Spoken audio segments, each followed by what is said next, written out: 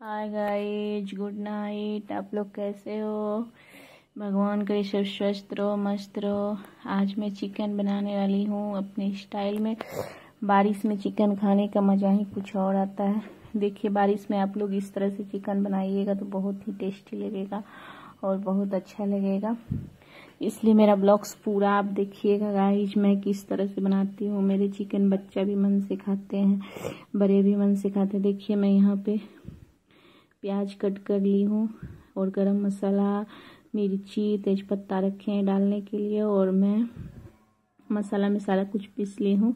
अदरक, लहसुन और मिर्ची, गरम मसाला, प्याज, ये सब देखिए, हम पीस लिए मिक्सी में। अब जा रहे हैं इधर हम चिकन धोने के लिए बाहर। हम लोग जब भी चिकन बनाते हैं गाइज़ तो स्लेब पर से पहले चूल्हा को नीचे उतार लेते हैं स्लेब पे नहीं बनाते हैं और चिकन का बर्तन भी अलग रखते हैं, क्योंकि हम लोग पूजा पाठ भी बहुत सारे करते हैं।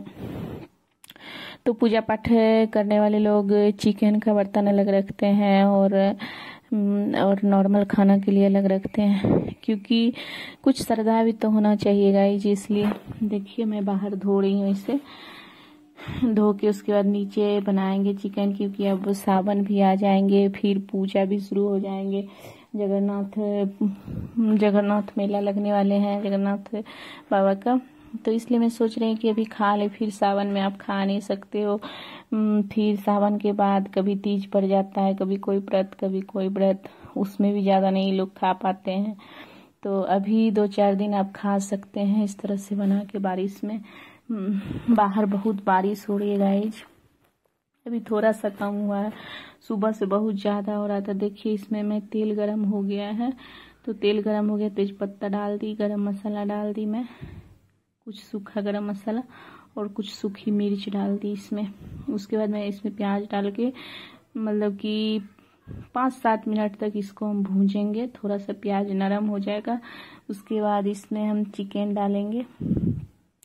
चिकन डालेंगे। चिकन को आपको करीबन 10 से 15 मिनट तक हम भूजेंगे, ताकि उसमें जो कुछ हरापन रहता है, कुछ मतलब कि दूसरा ही टाइप से लगता है, वो ख़त्म हो जाता है। प्याज का सुगंध, मसाला का सुगंध में आने लगता है। मैं इस तरह से बनाती हूँ। आप लोग कैसे बनाते हो गाइज़ कमेंट करके ज़रूर बताइएगा। मैं आप लोग का भी वीडियो देखूँगी कि आप लोग कैसे बनाते हो। कमेंट करके बताइए गाइज़ मैं इस तरह से ही बनाती हूँ। मुझे इस तरह से बहुत पसंद आता है। मैं देखी हूँ कि बहुत सारे लोग क्या करते हैं ना कि एक ही बार प्याज, मिर्ची और चिकन मटन डाल देते हैं। उससे ना वो हमको बिल्कुल भी पसंद नहीं आता है। थोड़ा सा प्याज को नरम होने दीजिएगा गाइज़ उसके बाद चिकन डालिए। चिकन को भी आप 10-15 मिनट तक ज़रूर भूंजिए बिना मसाला का। उसके बाद देखिए, मैं मसाला डालूँगी। मैं जो गैस का फ्लेम है उसको ज़्यादा हाई नहीं रखी हूँ, कम करके रखी हूँ। देखिए, ये दस मिनट तक मैं इसको भूंज ली हूँ। कितना अच्छा नरम नरम दिखने लगा है अभी से ही। इसमें जितना पानी रहता है वो छोड़ देता है। तो अब मैं मसाला डालूँगी और मसाला के साथ भी मैं 10 से 15 मिनट तक इसको पकाऊँगी। आप लोग बने रहिए। देखिए मसाला में क्या क्या हम डालते हैं और किस तरह से बनाते हैं गाइज़ समझे? देख। तो इस तरह से आप लोग भी बारिश के मौसम में चिकन खाइएगा तो बहुत ही मज़ा आएगा। और रात में बनाइए, सुबह में भी मुझे बहुत टेस्टी लगता है। इसमें देखिए, जो मैं मसाला पीसी थी, उसे मैं डाल दे रही हूँ। इसको भी मैं करीबन पाँच मिनट तक भूंजूँगी इसी तरह से। उसके बाद फिर जो मसाला निकाल के रखे हैं उसको डालेंगे। वो मसाला जो है, आपका लहसुन, अदरक, मिर्ची, प्याज का पेस्ट है तो पेस्ट थोड़ा सा मतलब कि नरम हो जाता है वो भी, तब आप डालिए तो आपका हराहिनी टाइप से नहीं लगेगा।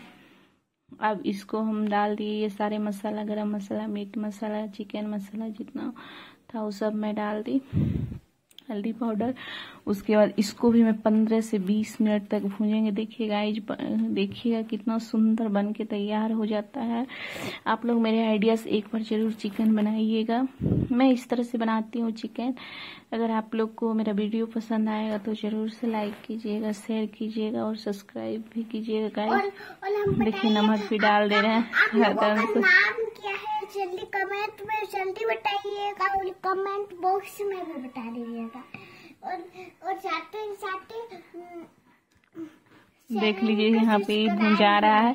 इसको मैं वो ढक्कन रखी हूँ कुकर का ढक्कन से मैं इसको नहीं ढकूँगी क्योंकि को सीटी थोड़ी लगाना है। इसको हम नॉर्मल ढक्कन से रख दे रहे हैं। उधर आम रखा हुआ है साइड में। तो देखिए इस तरह से यहाँ पे भून जा रहा है। इसको मैं बीच बीच में ढक्कन को उतार के चलाती रहती हूँ ताकि सट्टे नहीं और मेरा जो फ्लेम है वो ज़्यादा हाई नहीं है। नॉर्मल रखे हैं इसको। नॉर्मल पे आप भूंजिएगा चिकन को। जितना ज़्यादा भूंजिएगा उतना ही ज़्यादा टेस्टी लगने लगता है। ये तो ऐसे भूंजाते भूंजाते सारे पक जाते हैं। तो हम लोग क्या करते हैं कि थोड़ा सा भूंजा वही निकाल के खा लेते हैं। बहुत टेस्टी लगता है। उसके बाद ग्रेवी के लिए पानी डालते हैं इसमें।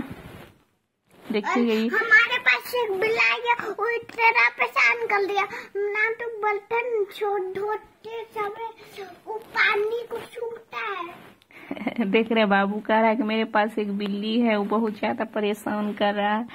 बर्तन सबको धोने के लिए जाते हैं तो छूने लगता है। ये कह रहा है यही चीज़। आप लोग से बात करना चाहता है गाइज़ अगर आप लोग बात करिएगा तो मैं इसको आपके सामने कैमरा के सामने बैठा के बात करूँगी। बहुत ही प्यारा बोलता है। गाइज़ अभी देखिए, ये भूंजा गया है। इसको मैं क्या करूँ, क्या करेंगे ना कि थोड़ा सा निकाल लेंगे खाने के लिए। उसके बाद इसमें पानी डाल देंगे ग्रेवी बनने के लिए। एकदम सॉफ्ट हो जाता तब मुझे अच्छा लगता है। ऐसे थोड़ा टाइट टाइट आप चिकन खाइए तो उसमें जो कुछ कुछ पीस होता है ना, वो थोड़ा चिम्मर टाइप से हो जाता है तो अच्छा नहीं लगता है। तो इसलिए मैं इसको ज़्यादा अच्छा से पकाती हूँ ताकि ये सॉफ्ट हो जाए और खाने में अच्छा लगेगा तो देखिए, देखने में ठीक लग रहा है ना? खाने में बहुत ही टेस्टी लगता है।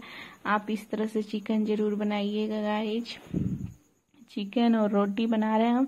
रात का मौसम है, रात में हम लोग चावल नहीं खाते हैं और बाहर बारिश भी बहुत ज़्यादा हो रही है। रात में चावल खाने से तबीयत खराब हो जाता है।